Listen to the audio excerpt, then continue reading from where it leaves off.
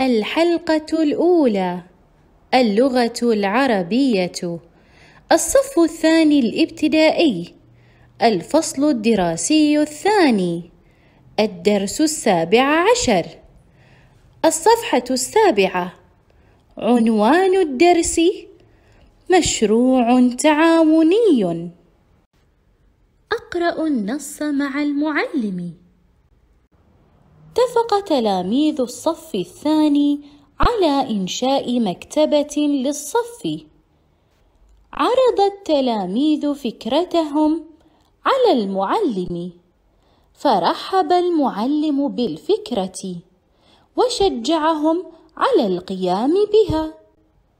تعاون التلاميذ في وضع خطة لإنشاء مكتبة. قسم التلاميذ أنفسهم أربع مجموعات.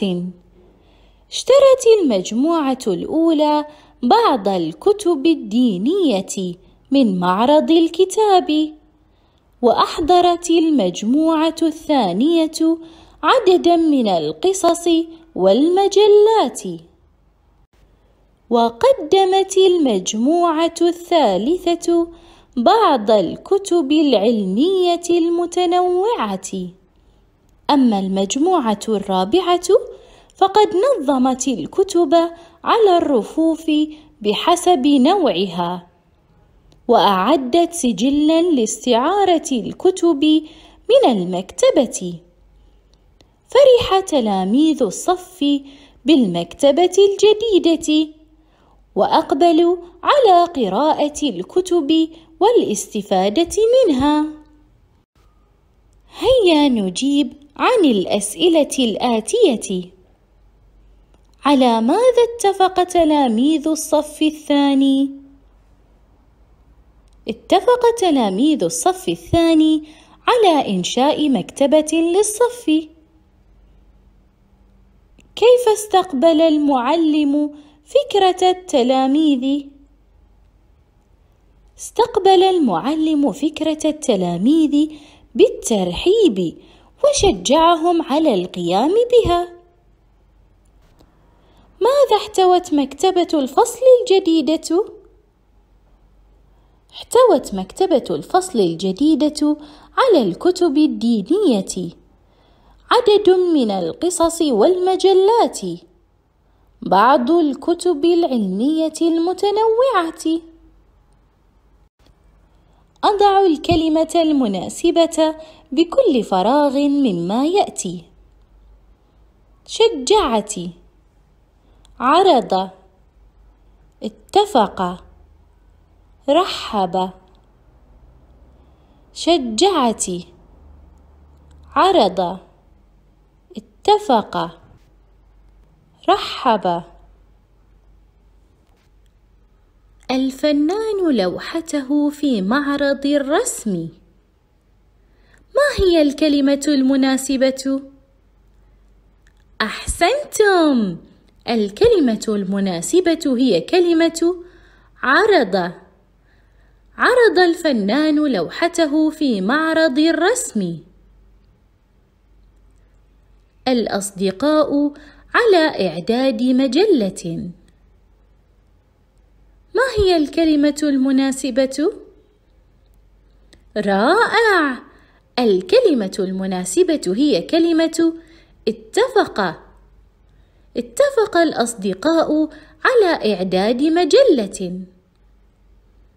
الأم طفلها على شرب الحليب. ما هي الكلمة المناسبة؟ ممتاز!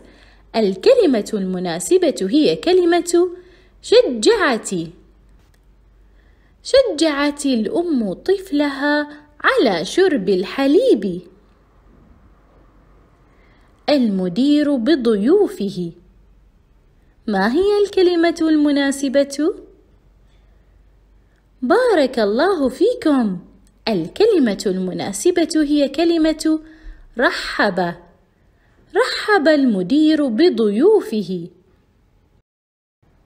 أصل كل جملة من ألف بما يناسبها من باء. مثال وضع التلاميذ خطة لإنشاء مكتبة. صنعت أعلاما لتزيين الفصل أحسنتم. فتحت النافذة لتهوية الغرفة ممتاز. أحضرت خضراوات لإعداد سلطة. بارك الله فيكم. ادخرت نقودا لشراء حاسوب. رائع. أستخرج من النص كلمات تنتهي بالتاء وأضعها في المكان المناسب. وقدمت المجموعة الثالثة بعض الكتب العلمية المتنوعة. أما المجموعة الرابعة فقد نظمت الكتب على الرفوف بحسب نوعها وأعدت سجلا لاستعارة الكتب من المكتبة.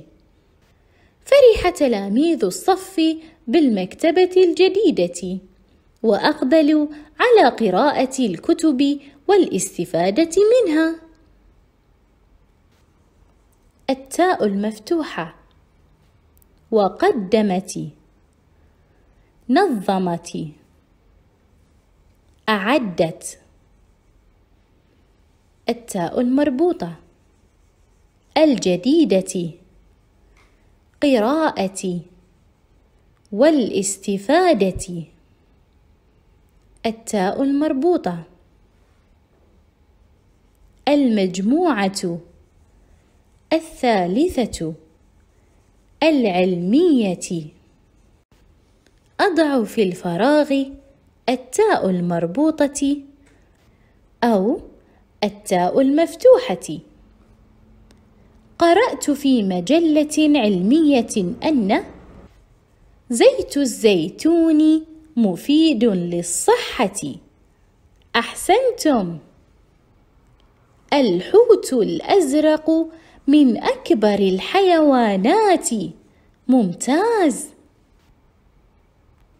صوت أوراق الأشجار يسمى حفيفا. بارك الله فيكم. تعاون تلاميذ الصف الثاني على وضع خطة لإنشاء مكتبة. توقع خطة لإعداد مجلة حائط مع تلاميذ صفك. خطتنا اتفق تلاميذ الصف الثاني على إنشاء مجلة حائط في الصف. تعاون التلاميذ في وضع خطة لإنشاء هذه المجلة. أحضر التلاميذ الأدوات المطلوبة. ثم قام التلاميذ بتقسيم المجلة إلى أربع أقسام. ليتضمن كل واحدة منهم فائدة استفاد منها التلاميذ في الفصل الدراسي. أقرأ النص مع المعلم. الكتاب. إن غابت الأصحاب فصاحب الكتاب. فيه حديث السمر مزين بالصور. يحلو به البيان وما له لسان كم قص لي حكاية لطيفة للغاية يروي لي الأشعار والأدب المختار فالعلم في السطور يسري إلى الصدور. هيا نجيب عن الأسئلة الآتية. بماذا يتميز الكتاب يتميز الكتاب بأنه هو الصاحب وقت غياب الأصحاب. فيه حديث السمر. ماذا يروي هذا الكتاب للإنسان؟ يروي الكتاب الأشعار والأدب الجميل. أجرد التاء المفتوحة. والتاء المربوطة من الكلمات.